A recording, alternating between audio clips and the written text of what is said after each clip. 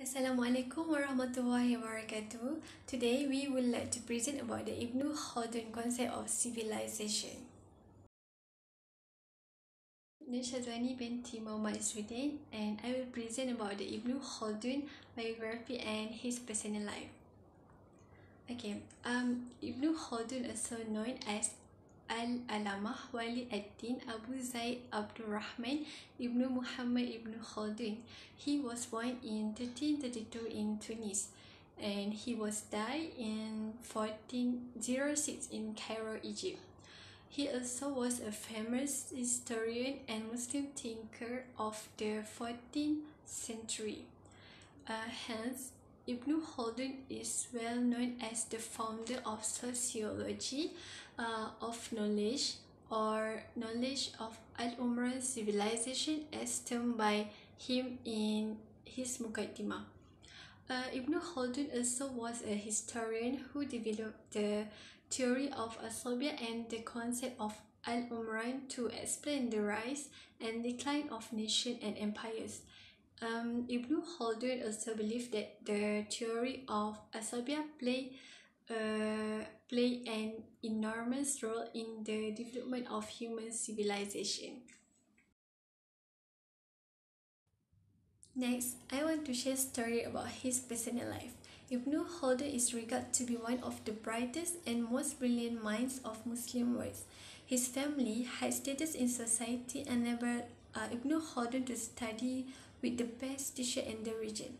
Ibn Khaldun also um, enjoyed an excellent education in his youth, but his parents died when the Black Death uh, struck Tunis in 1349. In the age of 20, he was given a post at the court of Tunis and later became uh, secretary to the Sultan of Morocco in Fez. In the late 1350s, he was imprisoned for two years for suspicion of participating in a rebellion. After being released uh, and promoted by a new ruler, he again fell out of favor and went to Granada. Uh, Ibn Khaldun has served the Muslim ruler of Granada in Fez and Granada's prime minister Ibn al-Khatib. Um, in 1375, Ibn Khaldun sought refuge from the tumultuous political sphere with the tribe of Awlad Arif. After that, they lodged him and his family in a castle in Algeria, where he spent four years writing the Muqaddimah. The Muqaddimah is the uh, superior work, is not merely a history of the Arabs and Berbers. It is also a discussion of historical method and the development of a philosophy of history except for one incident in which he was forced to participate in a place revolt. His life there was uh, relatively peaceful until Timur invaded Syria. Faraj, Sultan of Egypt, uh, went out to meet Timur and his victorious forces, and Ibn Khaldun was among the notable he took with him. Um, when the Mamluk army returned to Egypt, they left Ibn Khaldun in uh, besieged Damascus. Ibn Khaldun spent nearly two months in the company of Timur, who treated him with respect. On his way back home, Sultan of Ram, carrying an ambassador to the Sultan of Egypt, took him to Gaza where he established contact with the rising Ottoman Empire. Um, at the end, the rest of Ibn Khaldun's life was relatively uneventful. Uh, he died in 1406 in Cairo, Egypt. That's all from me. Thank you. Bismillahirrahmanirrahim. Assalamualaikum warahmatullahi wabarakatuh. My name is Nur Afifa binti Jasri and my matric number is 1728432. And now I will proceed with Ibn Khaldun's contribution. In his contribution, I would like to mention about these two kitabs which are about uh, Muqaddimah and Kitab Al-Ibar. Uh, um, Muqaddimah is also known as uh, Introduction. Uh, Ibn Khaldun uh, write, wrote this in a span of five months. So in this kitab, he discussed about the variety of topics uh, about every knowledge, every idea of knowledge during his day, uh, such as like history, sociology, astrology, and he also would discuss about chemistry, alchemy, and magic in a scientific way. So, uh, in his in this kitab, he also mentioned about the historical claims uh, with a calculated logic, um, and he discussed the current sciences uh, during his days. Um, in this kitab also he mentioned about his theory uh, about asabiyah which is uh, group feeling and the role that it plays in Bedouin societies in insightful um or uh, introduction is the greatest uh, legacy that Ibn Khaldun has left um, for all the humanity and the generation nowadays. So for the second kitabs, uh, it is about uh, Kitab Al-Ibar. Uh, uh, Ibn Khaldun uh, mentioned that he himself was involved in politics and government for quite significant period of time. Therefore, he was able to write uh, and carefully scrutinize the theory of good governance in depth in his writing. So I think that's all from me. Uh, now we will proceed with uh, our next members. Thank you. Assalamualaikum warahmatullahi wabarakatuh. My name is Zatul Islam Edi Badrisham and I will continue with Ibn Khaldun concept of civilization. First of all, uh, meaning of civil civilization from Merriam-Webster, uh, the meaning of civilization is relatively a high level of cultural and technological development, Speci- specifically the stage of cultural development at which writing and the keeping of written records is attained. Second, the cultural characteristic of a particular time or place, the impact of European, European civilization on the lands and uh, that they colonize. Okay, so in civilization, Ibn Khaldun mentioned Asabia is uh, as the organizing principle of society. And Ibn Khaldun defines civilization as a corporate social actor, turning it into an individual discipline and studied the behavior and uh, reactions of civilization under different circumstances and Ibn Khaldun also provide us with a perspective that reflect the open civilization concept which aim to put all civilization under uh, its protection. He is also define civili- uh, the concept of civilization. Uh, human social organization is something necessary and the philosopher expressed the fact, this fact by saying man is uh, political by nature. Uh, that is, he cannot do without the social organization, for which the philosopher used the technical term of town, and that is about civilization. So let's move on uh, on the next topic, Ibn Khaldun's psychological theory and also uh, about asabia. Asabia is a or social cohesion which is at the core of social organization. And Asabia uh, is a bind group together through a common language, culture, and behavior.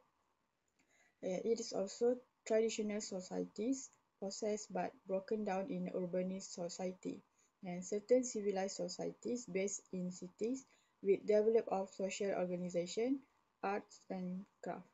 So he created the science of Albert Ibn Khaldun created the science of civilization, society or culture in order to analyze human uh, analyze history of human being.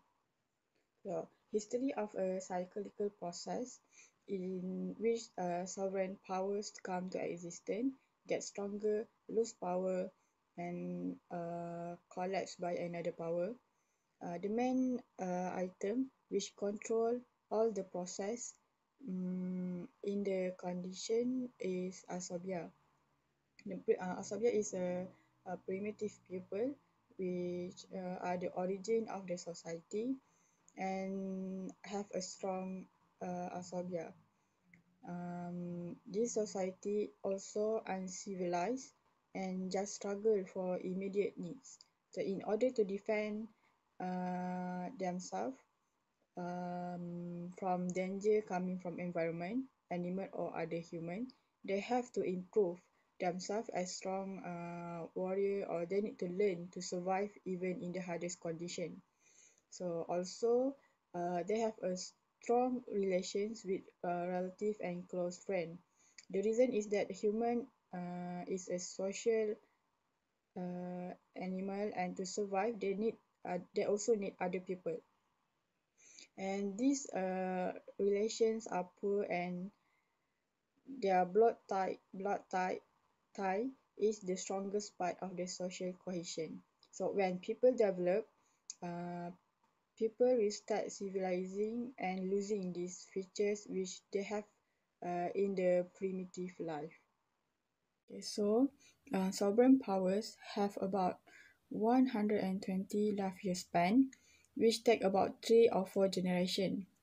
The reason that is uh, that is over time uh, genera- generations change and when the time pass uh, the coming generations forget about the previous generation gradually and uh, the fundamental uh, principle and values of sovereign power are established by the first generation. The second generation just follow the former, and the third generation forget all the values of their ancestor. And the fourth generation will cause the sovereign powers to collapse. But the sovereign powers may continue to live more uh, if the reason which destroy the state do not take place in 122 years lifespan.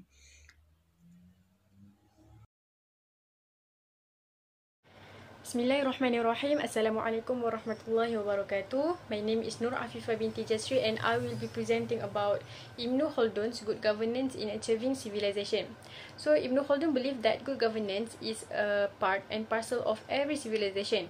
Uh, civilization uh, requires a set of rules and regulation to ensure a harmonious and orderly society. In History of Good Governance, Ibn Khaldun had suggested the importance of asobia, uh, which denotes group solidarity and sense of belonging. In this regard, Ibn Khaldun uh, affirmed that strong asobia indicates good character and high qualifications of leadership.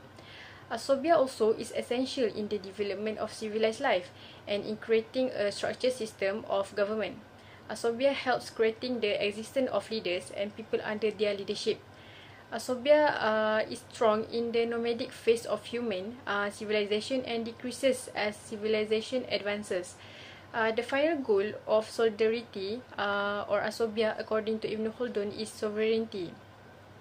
In History of Good Governance, Ibn Khaldun had also listed uh, three types of ruling government model which consists of uh, first, siasah tarbiyah, uh, which is a government based on natural rule. Uh, refers to a ruling government that governs the country with his own desires, wills and lusts.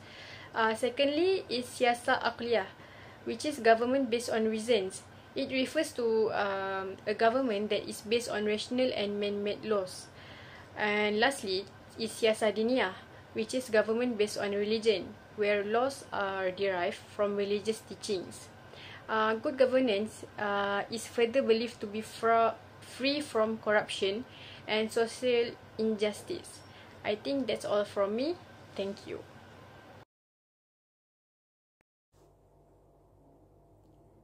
Assalamualaikum warahmatullahi wabarakatuh. Uh, my name is Nurdiana Najiha binti Muhammad Riza Khan.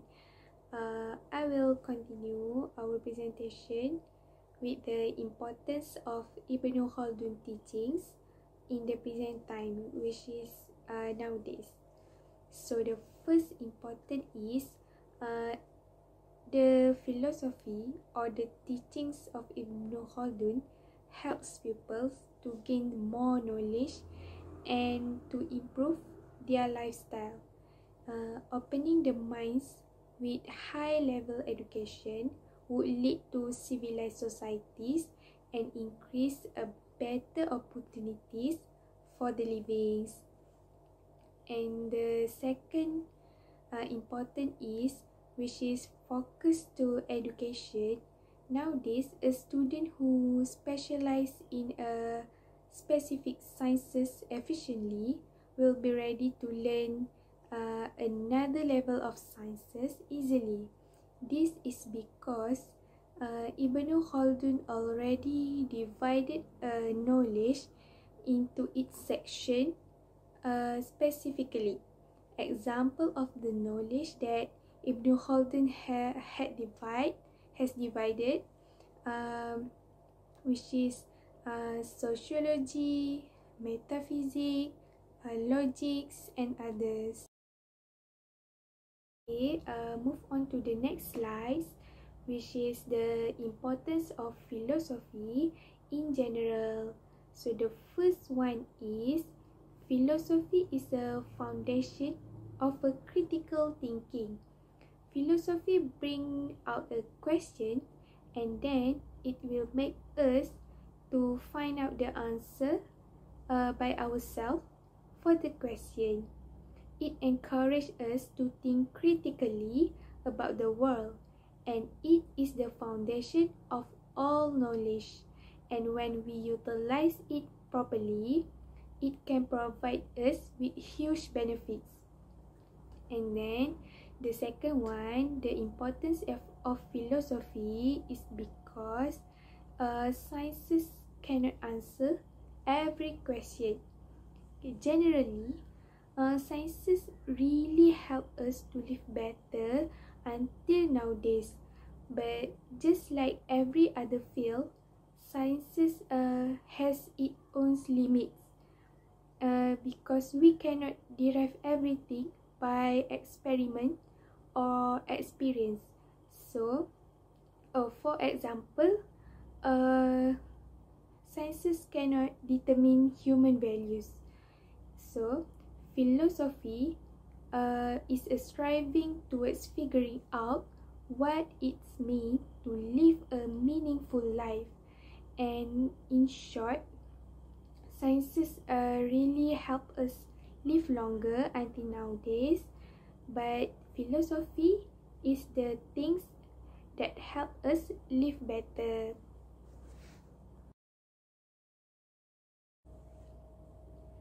Uh, okay, so move on to the last slide, which is uh, our views and our opinions about Ibn Khaldun. So the first one is related to the modern social sciences. Ibn Khaldun is the first beginning of sciences. That is why we think and agree that he is a golden bridge of uh, for the development of sciences and the and the history of modern soci- sociology. And the second one is uh, Ibn Khaldun book, which is named Muqaddimah, is not only about magnificent histor- historiography, but it is also covered a knowledge and a theories as so many theories about comprehensive political. And the third one is which is the last one uh, we think that his theories uh, Ibn Khaldun theories are valid and acceptable in explaining the the current event. This is because each theory and each uh, Ibn Khaldun philosophy reflects according to social changes until nowadays. And that's all from us. Uh, thank you.